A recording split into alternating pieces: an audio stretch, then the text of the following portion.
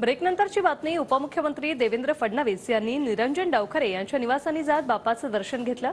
यावेळी स्थानिक पदाधिकारीही मोठ्या संख्येने उपस्थित होते.